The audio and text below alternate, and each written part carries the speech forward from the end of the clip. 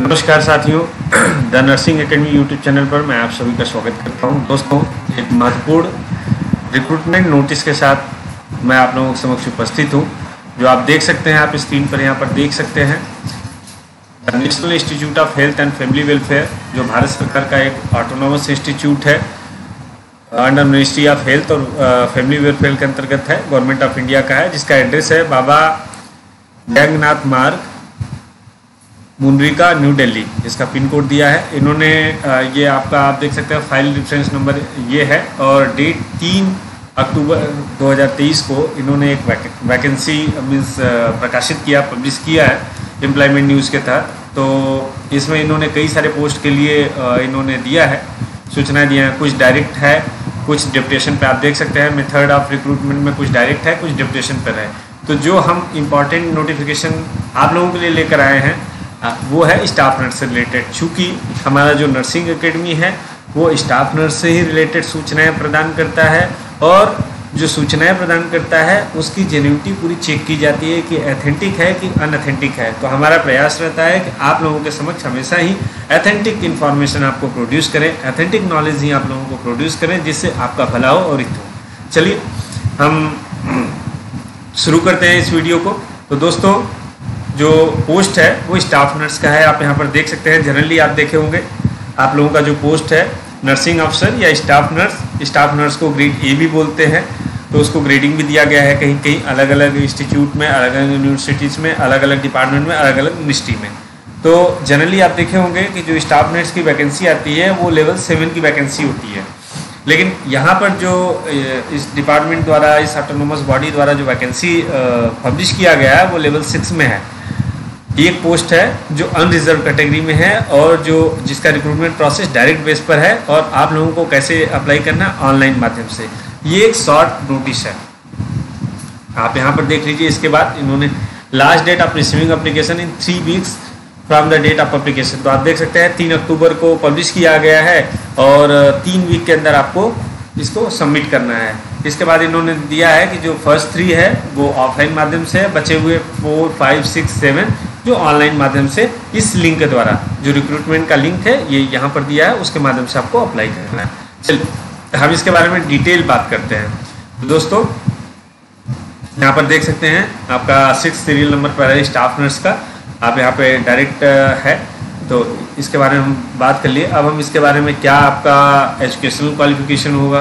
क्या सैलरी होगा प्रोसेस क्या होगा तो उसके बारे में हम पूरा डिटेल जो नोटिफिकेशन में है, उसके तहत हम बात करते हैं। आप यहाँ पर देख सकते हैं स्टाफ नर्स वन पोस्ट है अनरिजर्व कैटेगरी के लिए। अनरिजर्व का यहाँ पर तात्पर्य यह है कि जो एज लिमिट दिया गया है, उस एज लिमिट तक भारत के अंतर्गत कोई भी कैंडिडेट चाहे वो अनरिजर्व का हो मीन्स यू आर कैंडिडेट हो ई e हो, या ओबीसी कैंडिडेट हो एस सी कैंडिडेट हो आप अप्लाई कर सकते हैं। लेकिन जो आपका मेरिट बनेगा, वो अनरिजर्व में ही बनेगा रिज़र्व कैटेगरी में नहीं बनेगा। अगर आप एज रिलैक्सेशन लेते हैं as per government of India norms तो आप इसके लिए इंटाइटेड नहीं है। तो ये सब चीज़ें ध्यान देने लायक है। तो आप देख सकते हैं method of recruitment direct recruitment है, जो आपका पे स्केल है पे मैट्रिक्स में लेवल सिक्स है, जो आपका बेसिक है, पैंतीस हज़ार चार सौ से, और मैक्सिमम है एक लाख बारह हज़ार चार सौ तक। जो एज लिमिट है, जिसके बारे में हमने आपको बताया, आपका 25 साल से अधिक एज लिमिट मीट नहीं होना चाहिए। चूँकि यह पोस्ट अनरिजर्व के लिए है तो सबके लिए 25 साल ही मैक्सिमम एज लिमिट रखा गया है। अब आइए हम एजुकेशनल क्वालिफिकेशन के बारे में बात करें कि क्या एजुकेशन क्वालिफिकेशन होना चाहिए, जिसके तहत आप इसको अप्लाई कर सकते हैं मिनिमम तो आपका डिप्लोमा होना चाहिए मिनिमम जो जीएनएम है। और जीएनएम के बाद आप रजिस्टर्ड होने चाहिए। Should be registered as grade A nurse with state nursing council आप किसी भी स्टेट नर्सिंग काउंसिल में भारत सरकार के अंतर भारत के अंतर्गत जितने भी स्टेट्स हैं, किसी भी स्टेट नर्सिंग काउंसिल में आपका रजिस्ट्रेशन ज़रूरी है। डिज़ायर वांछनी में क्या है? डिजायरेबल में क्या है? अगर आप बीएससी नर्सिंग किए हैं तो आपको प्रायोरिटी दी जाएगी। तो ये मोटा मोटा हो गया, जो आपका एजुकेशन क्वालिफिकेशन से रिलेटेड है।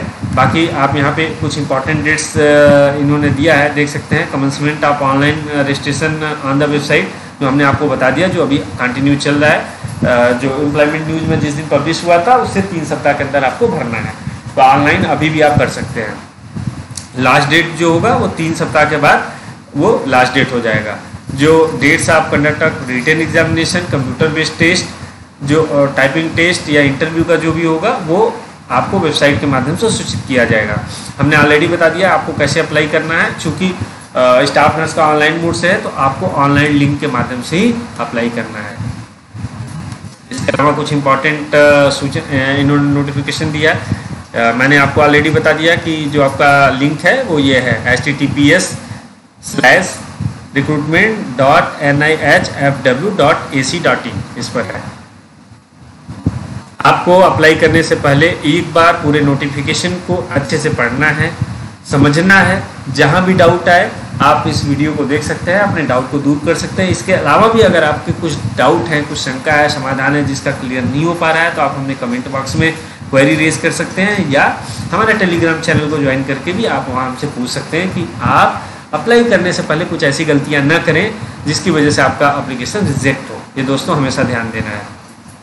मैंने बताया date time and venue of written skill examination आपको कम्युनिकेट किया जाएगा कॉल लेटर्स के माध्यम से या वेबसाइट के माध्यम से।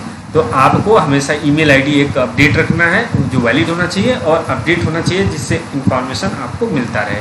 बीच बीच में आप उसको ओपन करके देखते रहिए। रही फ़ी की। आप लोगों को फ़ी कितना पे करना है तो आप देख सकते हैं स्टाफ नर्स का है, तीन सौ रुपये आपको फ़ी पे पे करना है। फ़ी पे फ़ी में भी पेड जो आपको फ़ी पे करना है, वो director N I S F W payable at New Delhi through valid D या आई पी यू के माध्यम से। ये ऑफलाइन वालों के लिए है। ऑनलाइन वालों के लिए तो डायरेक्ट वहाँ पर लिंक रहेगा। आप लिंक के माध्यम से आप डायरेक्ट पे कर सकते हैं। Fee once paid shall not be refunded under any circumstances एक बार आप फ़ी ऑनलाइन माध्यम से, चूँकि आप लोगों का अप्लीकेशन है, आप पे कर देंगे, उसके बाद आपका फ़ी रिफंड किसी भी कीमत पर नहीं होगा। जो शेड्यूल कास्ट के कैंडिडेट्स हैं शेड्यूल ट्राइब्स के लिए फिजिकली हैंडीकेप्ड हैं फीमेल कैंडिडेट्स हैं। तो हालाँकि ये पोस्ट अनरिजर्व के लिए है तो इसमें फीमेल के लिए है जो, या डिपार्टमेंटल कैंडिडेट्स हैं, उनके लिए कोई फ़ी पे नहीं करना है। Candidates would have a valid personal email ID मैंने आपको ऑलरेडी बताया कि आपके पास एक पर्सनल वैलिड ईमेल आईडी होना चाहिए। It should be kept active during this recruitment process जो हमेशा एक्टिव मोड में होना चाहिए। बीच बीच में आप वीकली चेक करते रहिए जब भी टाइम मिले। आजकल तो स्मार्टफ़ोन में भी आप लॉगिन कर सकते हैं। हमेशा बिना विदाउट ईमेल आईडी तो आप गूगल में लॉगिन ही नहीं कर सकते और दूसरे एप्लीकेशन आप चला नहीं सकते, ऑपरेट नहीं कर सकते। तो एक वैलिड ईमेल आईडी रखिए और हमेशा बीच बीच में आप जब भी टाइम मिले, मौका मिले, आप उसको ईमेल आईडी को चेक करते रहिए कि इस तरह का जो आप, आपने एप्लीकेशन अप्लाई किया है, उसका कोई सूचना तो वहाँ से नहीं आया है। The candidates are requested to check regularly और उसके अलावा आपको ये वेबसाइट जो है, वो आप हमेशा बीच बीच में चेक करते रहिए। कोई भी अपडेट रहेगा, कोई भी सूचना रहेगा, आप वहाँ से प्राप्त कर सकते हैं। ये रिजर्वेशन के बारे में दिया है तो रिजर्वेशन से कोई लेना देना हमारा नहीं है।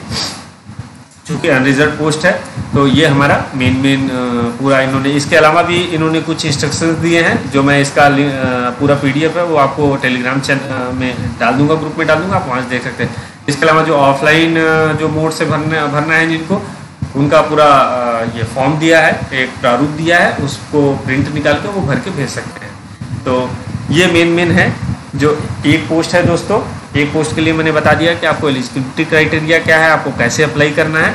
हाँ अब चलिए, जो इम्पोर्टेंट चीज़ है, बहुत सारे स्टूडेंट को, इसको ऑनलाइन अप्लाई करने में असुविधा होती है। तो जो लिंक मैंने आपको बताया, उसी लिंक के माध्यम से मैंने इसको ओपन किया है। आप देख सकते हैं, इसका होम होम पेज है, उस लिंक पर क्लिक क्लिक करेंगे तो आपको डायरेक्ट होम पेज खुलेगा। राष्ट्रीय स्वास्थ्य एवं परिवार कल्याण संस्थान national institute of health and family welfare Bharat सरकार का ये है, लोगो भी है। तो आप अगर फ़र्स्ट टाइम अप्लाई करना, कर रहे हैं तो आपको सबसे पहले रजिस्ट्रेशन करना पड़ेगा। रजिस्ट्रेशन पे क्लिक करना पड़ेगा। रजिस्ट्रेशन में क्या क्या देना है? आपको फ़र्स्ट नेम देना है मिडिल नेम देना है लास्ट नेम देना है। फ़र्स्ट नेम मैंडेटरी है। मिडिल नेम है तो दीजिए, नहीं है तो नहीं दीजिए। लास्ट नेम भी ऐसे ही है। आप वैलिड मोबाइल नंबर आप दीजिए, अपना वैलिड ईमेल आईडी दीजिए।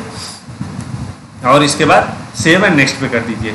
जैसे ही सेव नेक्स्ट पे करेंगे आपको आ, कुछ हो सकता है ओटीपी के माध्यम से आपका वेरिफिकेशन करें ओटीपी आता है तो ओटीपी डाल सकते हैं और उसके बाद आपको यूज़र आईडी पासवर्ड मिल जाएगा। तो इस तरीके से आपको रजिस्ट्रेशन करना है। एक बार आप रजिस्ट्रेशन कर लेंगे एक बार रजिस्ट्रेशन कर लेंगे आप तो उसके बाद आपको रजिस्ट्रेशन नंबर मिल जाएगा और पासवर्ड एक बार मिल जाएगा नेक्स्ट प्रोसेस में। तो उसको डाल के और जो ये वर्ड्स दिखाए गए हैं उसको डाल के सबमिट करके आप अप्लाई कर सकते हैं।